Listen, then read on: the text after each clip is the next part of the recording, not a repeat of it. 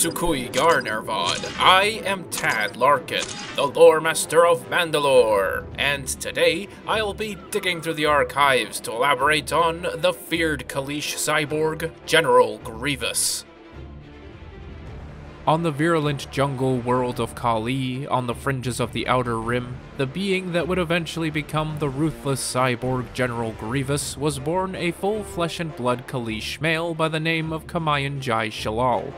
At an early age, Qymaen's father put a Czerka slug thrower in his hands and trained him to be a warrior, as his people were under constant threat from the insectoid Yam'rii, better known as the Huk who frequently traveled from their neighboring system to Kalee to take Kaleesh slaves. After his father died in battle, he inherited the traditional mumuu skull commonly worn by Kaleesh warriors, and by the time Qymaen reached his 20s, he was considered somewhat of a demigod amongst his people, after having killed over 40 Huk by the age of 8 and countless more afterwards. Qymaen's battle prowess alone arguably turned what was once a fight for survival against the Huk into a full-fledged war, a winnable war. But while the Kaleesh sought victory on the battlefield, he found something he did not expect. Love. She came to him in a dream, a warrior goddess dual-wielding a pair of traditional Kaleesh leg swords, hunting wild mumuu in the Kunbal jungle, and when he himself went out into the jungle, he found her just as he dreamt, Ronderu lij Kummar, and like the ancient Kaleesh tale of the Dreamer and the Dreamt One, he was instantly smitten.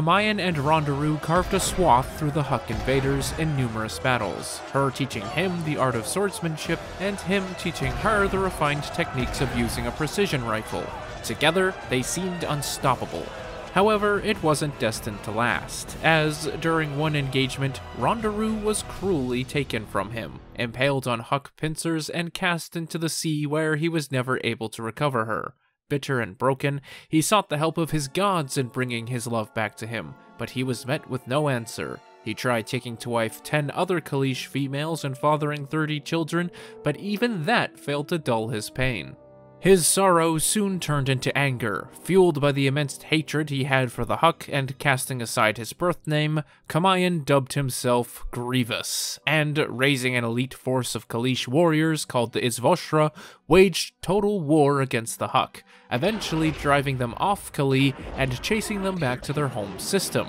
eradicating many of their colonies along the way. Therein lied Grievous's mistake. By pursuing the Huk back to their home star system, they pleaded their case before the Galactic Republic Senate, and made the Kaleesh look like the aggressors. So, the Jedi intervened and stopped the Kaleesh in their tracks, forcing an end to the conflict, sanctioning an embargo on Kalee, and ordering Kalee to pay war reparations to the Huk. Thus began Grievous's hatred for both the Jedi and the Republic. Almost too conveniently, Grievous was approached by the Intergalactic Banking Clan, where, if he agreed to sign on as one of their enforcers, essentially leading the IGBC's droid forces to secure debts from defaulting customers, they would in turn take on Kalee's debts and aid in restarting trade, which would relieve the planet of its ongoing famine, so he accepted the offer. Sometime around 29 Galactic Standard years before the Battle of Yavin, a resuming of hostilities with the Huk inspired Grievous to return home, forsaking his contract to fight alongside his comrades once more, which angered the IGBC, but instead of simply accepting the loss of a fierce warrior and gifted tactician, they had other plans in store for him, partnering with Geonosian Archduke Poggle the Lesser and a former Jedi by the name of Count Dooku, now the Sith Lord Darth Tyrannus, as well as his master, Darth Sidious. Now back on Kalee, Grievous boarded a shuttle with a few of his Izvoshra warriors bound for Huk space to rendezvous with the rest of his forces. But before they could even exit Kalee's atmosphere, an ion bomb planted in the shuttle exploded and it plunged into the sea, where the mangled remains of Grievous's body were recovered by Dooku and brought to Geonosis. To ensure Grievous remained stable, Dooku not only shocked his heart back to life, but also gave him a blood transfusion from the deceased Jedi Master Sifo Dyas, which also served as an experiment to see if non-Force sensitives could become Force sensitive after receiving a midichlorian-rich blood donation. Grievous was kept alive, but did not become Force sensitive. Awaking in a bacta tank, Grievous floated before banking clan chairman San Hill, who gave him one last proposition be forced to die in a manner unbefitting of a venerable warrior such as himself, or volunteer to be cybernetically augmented and lead armies of battle droids for a new government against the Republic, where he would be allowed to return home after the war. Grievous reluctantly chose the latter. Given the severe extent of his injuries, the technicians were only able to save his brain, eyes, spinal cord, and major organs, so an entirely new body had to be built for him. Heavy-duty Durasteel served as the basic skeletal frame, then reinforced with duranium armor plates on the legs, arms, shoulders, neck, and chest, which housed and protected his surviving organs, sealed in a pressurized synth skin sac. The head and cranium were also duranium, but molded to look like his iconic mumuu skull mask, while inside, his brain was augmented with a series of electrodes that interfaced with his body, and the parts of his brain that dealt with aggression, motor skills, and memory were enhanced and modified. His eyes were also enhanced with cybernetic implants to increase his perception and allow him to keep up with the hyperfast movements his body was now capable of making. An ultrasonic vocabulator allowed him to speak, while audio receptors on either side of his head transmitted sound to his brain. Advanced electro drivers in his arms and legs were now capable of accelerating his limbs to Jedi-like speeds, and each of his hands contained six fingers with two opposable thumbs, which allowed Grievous to split his arms apart and wield four lightsabers at once. Lastly, his reptilian-like LX-44 series legs, also reinforced with duranium armor plates, boasted powerful magnetized talons on his feet, which not only allowed him to stabilize and scale vertical surfaces, but they too could also hold a lightsaber. Grievous was unsurprisingly unhappy with his new station in life. He was disgusted by his new mechanical form and the discomforting problems that came with it. He hated his IG series Magna Guards and deemed them inferior to his Izvoshra warriors, and most of all, hated being called a droid, which Dooku, his new master essentially, made an effort to regularly refer to him as to elicit his rage. Upon his re-emergence as General Grievous, Dooku bestowed upon him the honor of Supreme Commander of the Droid Armies of the newly founded Confederacy of Independent Systems as of 24 BBY, and relinquished a gift, the green-bladed lightsaber of his old friend from his days in the Jedi Order, Master Sifo Dyas. In a barbaric fit of rage, Grievous used the elegant Jedi weapon to smash his Magna Guards, in what he saw as open defiance to Dooku, but this did nothing but please the Sith Lord. Now the General's training could truly begin. If Grievous was going to contend with the best of the Jedi, Dooku, being a master swordsman himself, began training the Kaleesh cyborg in the basic forms of lightsaber combat, then moving on to the more complex forms. Meanwhile, Grievous made major modifications to his bodyguards, updating their programming so that they could learn from their sparring matches, and gave them the traditional Kaleesh wrappings of his Izvoshra warriors, all while gaining respect for Dooku and Lord Sidious. In 22 BBY, the Clone Wars finally erupted when the newly established Grand Army of the Republic, as well as 200 Jedi, intervened in the signing of an arms agreement and execution of two Jedi and a senator on Geonosis. But Dooku did not deem the time right to reveal the existence of General Grievous to the Republic just yet, and had him guard the Separatist leaders while the battle unfolded. As he was escorting them to their hangar to evacuate towards the end of the battle, him and his Magna Guards were intercepted by Jedi Master Ursima Du and a strike team of clone troopers. He left none alive, and added his first earned lightsaber to his collection.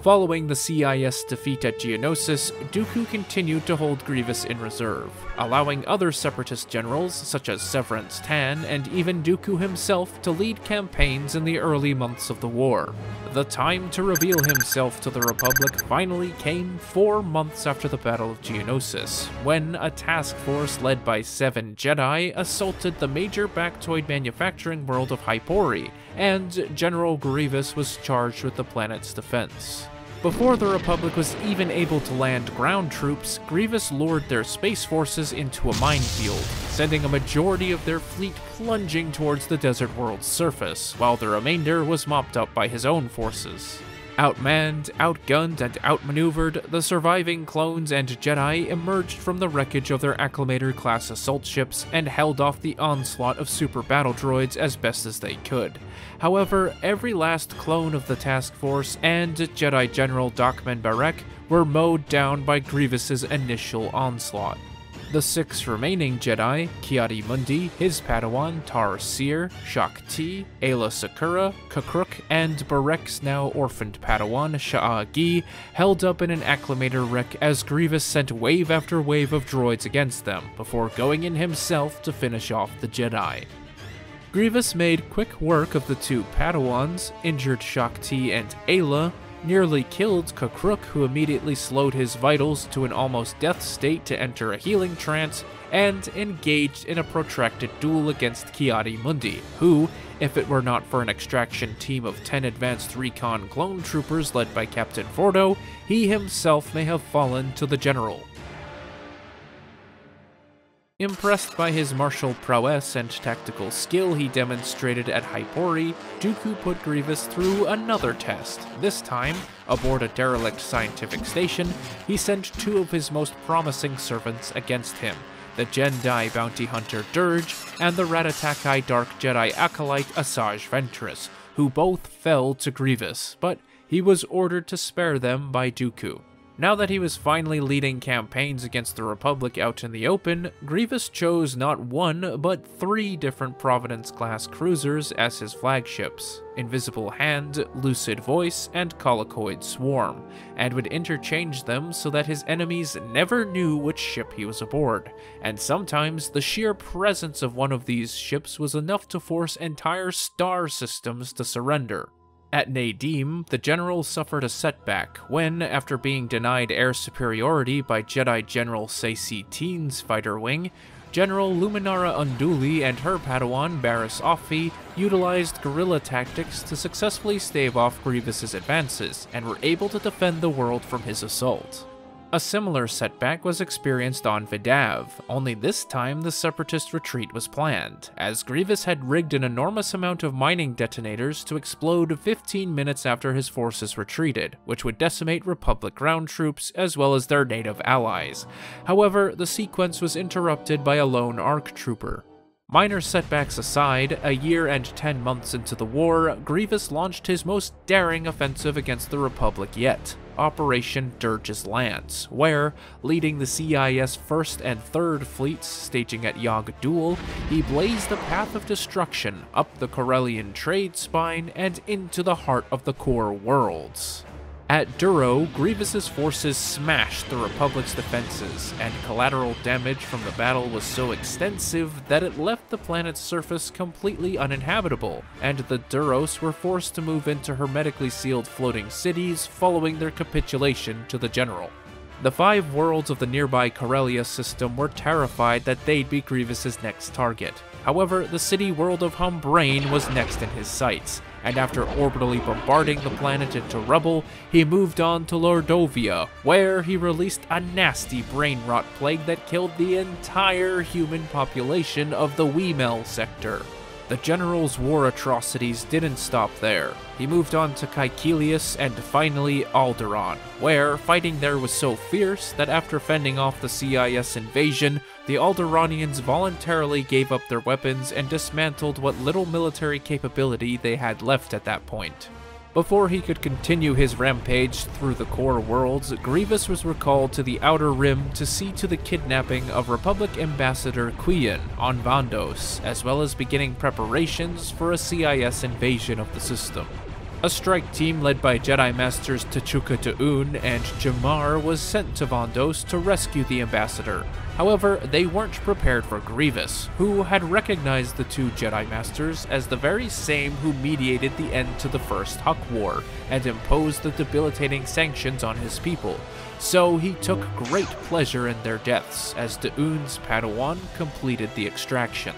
T'Oon's Padawan, Flynn Kybo, in open defiance of the Jedi Council, began searching for Grievous and collecting others, Jedi and normal folk alike, who also recognized the threat that he posed and the need to eliminate him. Grievous, meanwhile, on his way to organize an offensive in the Anoat system, ambushed a Republic allied Mon Calamari vessel, and during the boarding action discovered seven Jedi younglings after quickly dispatching their guardian. Continuing his assault on the Ugnaught homeworld of Gentes, capturing their manufacturing capabilities and brutalizing the surviving Ugnaught populace, he contemplated presenting his newly captured younglings to Dooku for Sith indoctrination, but Dooku himself gave him the go-ahead to conduct his own cybernetic experiments. Following their first escape attempt, Grievous forced the unruly children to watch in horror as he rounded up the surviving Ugnaught populace in the city, placing them in the assembly hall, and promptly bombarding the structure from orbit. In another escape attempt, the younglings unwittingly led Grievous to a secret underground refuge, where a lot of the Ugnaughts retreated to during the defense of their capital city, and right as Grievous decided that they were no longer worth his effort, Flynn Kybo and his companions arrived.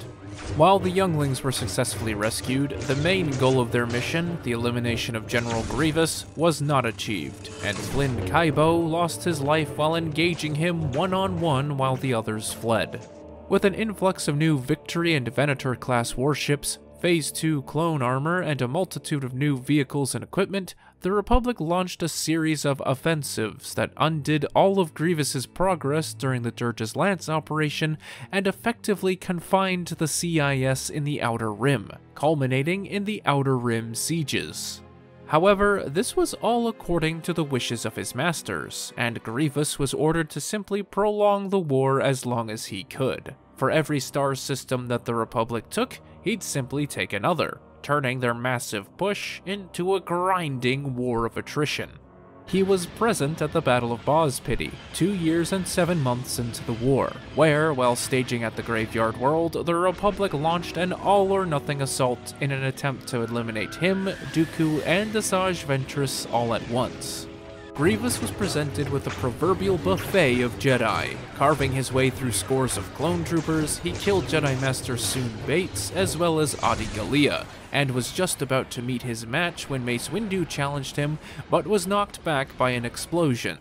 At Dooku's behest, the Magna Guards recovered the battered and sparking cyborg general, leaving Ventress to her fate while the rest of the Separatist forces withdrew from the planet. Making the necessary repairs following the mishap on Boz-Pity, Grievous led a relief force to the besieged Techno-Union Citadel world of Xagobah, and arrived just in time to find a very young Boba Fett attempting to assassinate the Techno-Union foreman Wat Tambor, and, intervening, the miniature bounty hunter barely escaped with his life. In the aftermath of losing the Trade Federation purse worlds of Koru, Deko, and Cato Neimoidia, General Grievous was tasked with finding a new stronghold for the members of the Separatist Council, and sought to take one, the seemingly undefended world of Belderone. Much to the General's surprise, an entire Republic fleet was waiting for him in Belderone's orbit, as, during the Battle of Cato Neimoidia, Nute Gunray accidentally left behind his Mechno chair, and the Republic was now using it to unencrypt transmissions to predict enemy fleet movements, forcing Grievous to retreat, taking out a convoy of civilian refugees to cover his jump. If it weren't for Gunray's status and importance to the war, Grievous would have smashed the face of that grubby little Neimoidian coward for compromising not only their secret encryptions that cost him the battle, but perhaps even the existence of Darth Sidious himself. After the Belderone debacle, Grievous moved the Separatist leaders to the windswept sinkhole world of Utapau that he had subjugated two years earlier, and installed a more permanent presence on the world, much to the chagrin of the native Utai and Pau'ans. In 19 BBY, during one of his final sparring matches with Dooku to ensure he maintains his combat edge even during his downtime, the Sith Lord cautioned him about taking unnecessary risks, bidding Grievous to withdraw from any engagements where the risk of death was too great. After the eliminations of Ventress, Durge, Sora Bulq, and several other of Dooku's acolytes, Grievous's survival grew more important every day. This advice was just in time for a transmission from Darth Sidious, who gave Grievous his most important assignment yet. Using secret hyperspace routes through the deep core, he was to assemble a massive fleet and attack the Republic capital on Coruscant and kidnap Supreme Chancellor Palpatine. Grievous's first wave pounded the unsuspecting Coruscant defense fleet, and as panicked calls for nearby fleets to come to the planet's defense went out, droid forces commenced a surface attack, drawing Republic ground troops away from the Senate District, where Grievous and his Magna Guards infiltrated. Smashing through the window of the Chancellor's office, Grievous mowed down squads of clones and Senate guards, as Jedi Masters Shaak Ti, Roron Corobb, and Foul Moudama ushered Palpatine down the hall and into the turbolift as fast as they could, in an attempt to get Palpatine to his emergency bunker, through alleyways, marketplaces, sky lanes, and atop maglev trains, Grievous and his Magna Guards pursued the Chancellor and his Jedi protectors, but just when they believed they safely made it to the bunker, Grievous materialized out of the shadows, making quick work of the Ithorian and Talz Jedi with his four lightsabers. Following a delaying action to tie up Grievous's Magna Guards, Shaak Ti arrived just as her comrades were slain and Grievous had the Chancellor literally in hand. And instead of simply killing her as he had tried to on Hypori, this time Grievous bound her with electrified cables so she could tell the tale of what happened. As Grievous walked the boarding ramp with Palpatine to his personal shuttle, Mace Windu intercepted them, and although he acted quickly to shove the Chancellor into the shuttle while he dealt with the Jedi, Windu used the Force to crush his duranium chest plates, causing more damage to his already poorly augmented lungs, and with that, the shuttle wasted no time taking off. With the Chancellor now secure aboard Invisible Hand's observation deck, Grievous quickly underwent repairs to get back to the bridge as soon as possible. However, his lungs were now filling up with fluid worse than before, adding a wheezing cough to his already rasping voice. Now the trick was to maneuver Invisible Hand out of the battle and into a position where he could make the jump to hyperspace, but the thickness of the fighting kept him at Coruscant long enough for reinforcements from the Open Circle fleet to arrive, fresh from their operations at Nelvaan and Tythe flying their Eta-2 Actis Jedi interceptors, Obi-Wan Kenobi and Anakin Skywalker blasted their way into Invisible Hand's main hangar bay and hacked their way through battle droids until coming to the observation deck, where, after dueling and killing Count Dooku, the Chancellor was recovered. Back on the command bridge, Grievous was far too busy to monitor what was going on in the observation salon. Several ships had been harassing Invisible Hand on its escape vector, including a Carrack-class cruiser commanded by Lorth Needa, and a full-on broadside from the Venator-class Star Destroyer Guarlara, which temporarily sent the vessel spiraling. Finally appraised of the situation, Grievous ordered ray shields to be activated in hallway 328 where they were currently escaping, and droids were sent to apprehend the would-be Jedi heroes and bring them to the bridge. Their captivity wouldn't last long. R2-D2 provided a distraction, and the former master-apprentice duo were able to reclaim their lightsabers from Grievous's cape with the Force, and chaos broke out aboard the bridge as lightsabers and magna staffs blared to life. With his guards dispatched and his bridge crew abandoning their stations, General Grievous made his grand exit, smashing the transparasteel viewport and using a grapple to secure himself to the outside of the ship, where he walked up and over the ship's armor plates, back into a hatch where he caught the last escape pod. The Jedi would now have to deal with the already badly damaged and crewless Invisible Hand, while he made his way back to Utapau to report to Lord Sidious and plan his next moves. Head of State Dooku was dead, and the Confederacy was now in a state of emergency, and with Grievous being the supreme commander of the CIS armed forces, he now also assumed the responsibilities of the head of state. The Confederacy's survival depended almost solely on his survival, and it wasn't long before clone intelligence units pinpointed his location. It was as he was informing the Separatist Council of the decision to move them from Utapau to Mustafar that Obi-Wan Kenobi quite literally dropped in and challenged him to one-on-one lightsaber combat. And as their duel began, the forces of the 212th Attack Battalion arrived to engage Grievous's forces as well. From the rafters of Hangar 10 to the streets of Pau City via Wheelbike and Boga, and finally to a small landing platform in an adjacent sinkhole, their clash was long and drawn out. No doubt that Grievous's previous combat prowess was hampered by the damage he suffered at Boz-Pity and Coruscant at Mace Windu's hands. As hands and lightsabers were lost by both opponents, the combat distance closed and fists started flying, enough to where Kenobi managed to open up Grievous's chest cavity, and a few well-placed blaster bolts combusted the general's internal organs from the inside.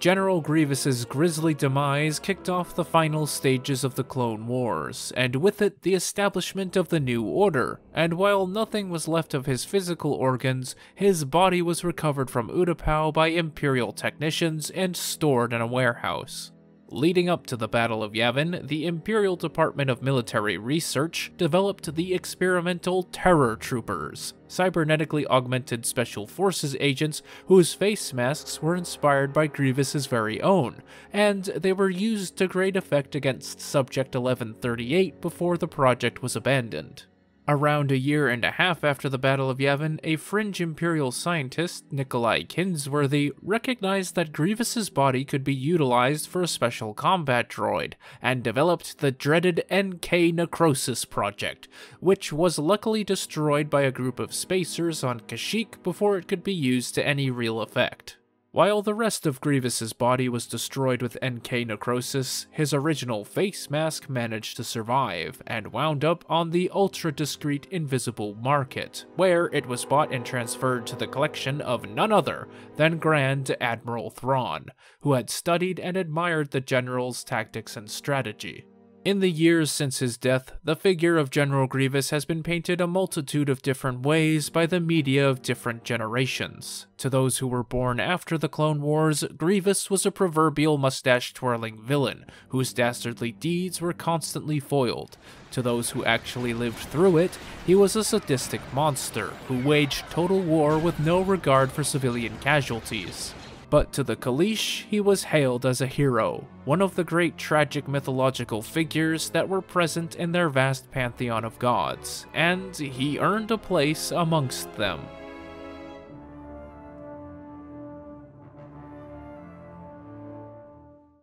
This redo of one of my past transmissions was commissioned by the Framinator on Patreon. If you have any suggestions for future transmissions, don't be afraid to drop a comment. Special thanks to my patrons Wildcat144, JTrips1997, Wirefox Terrier, Dave the Grave, Zim the Despot, Matt Patton, Trav, Hawk2274, Cal Scarata, Angry Mutt, Chris Evans, Mayo4, Moonman, Noah Shane45, and The Framinator. If you'd like to support this channel and perhaps even commission your own video topic, please visit my Patreon to find out how. Link is in the description. In the meantime, keep your com channels open for future transmissions, and uh, don't forget to subscribe. Tad Larkin, out.